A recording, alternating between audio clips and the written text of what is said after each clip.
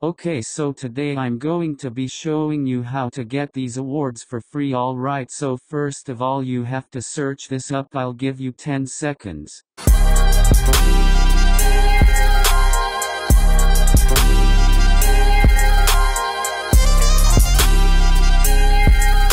Okay so after you type up the website press enter and it will take you to this okay I'm going to log in.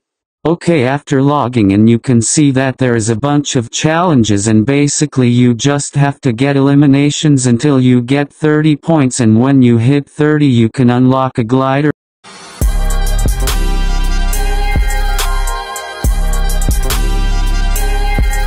I'm gonna show you a little montage of me getting some kills.